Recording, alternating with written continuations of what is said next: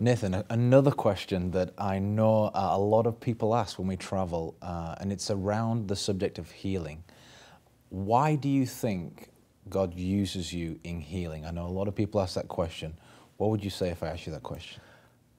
I would say that uh, God uses everybody in healing uh, because it is the promise of the Word of God. Amen. You know, the Bible says, He who believes, he shall lay hands on the sick, and they shall be made well. They shall be made whole. Mm. Jesus, in his ministry, brought salvation and healing together. Yes. He said to the paralyzed man, Which is easier to say, Your sins are forgiven, or rise up and walk? He brought healing mm.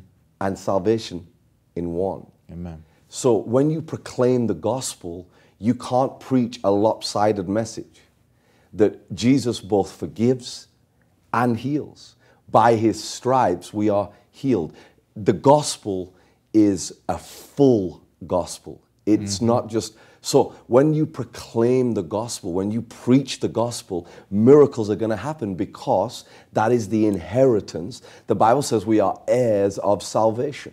When you accept Jesus Christ, He is the healer, so Yes. miracles happen. Mm. And when I preach the gospel, I expect the fullness of the gospel to be made manifest.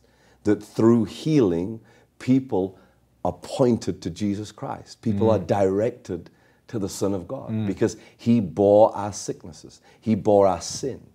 So when I proclaim the gospel, I expect miracles to happen. So mm-hmm. I would not say that God particularly uses me in healing. I would say the gospel, as the word of God declares, is the power of God unto salvation.